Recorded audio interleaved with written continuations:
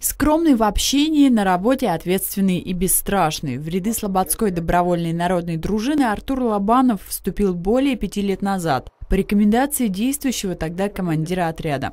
Начинал как все. Участвовал в дежурствах, патрулировал улицы вместе с полицейскими, помогал правоохранителям обеспечивать общественную безопасность. Спустя год на очередном собрании дружины избрали нового командира. С тех пор Артур Лобанов возглавляет местный отряд ДНД. Организаторская работа.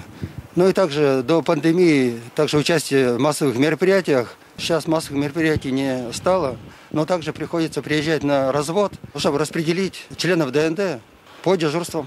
Введение ограничений повлияло только на форму дружинников. Теперь ее дополнили маской и другими средствами защиты. А вот в объеме работы в период пандемии изменений не произошло. Дел по-прежнему много. За 2020 год сотрудниками полиции и участием ДНД выявлено 89 нарушений. Это в том числе значит, хулиганство, распитие спиртных напитков, нарушение правил дорожного движения, Сейчас состав дружины насчитывает 45 человек или 4 отряда. Работники машиностроительного завода и Красного якоря, отряд, сформированный администрацией города и сборный отряд, который трудится совместно с ГИБДД. Набор в добровольную народную дружину по-прежнему открыт. Все желающие могут прийти в отдел полиции и оставить заявление для участия в добровольной народной дружине.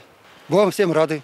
Свою работу Артур Лобанов называет будничной. Сотрудники ДНД не помогают расследовать громкие дела, не работают вместе с правоохранителями на местах совершения преступлений. Но патрулирование улиц и наблюдение за правопорядком важны не меньше, уверен командир Слободской ДНД. Это работа как раз для того, чтобы преступления случались как можно реже.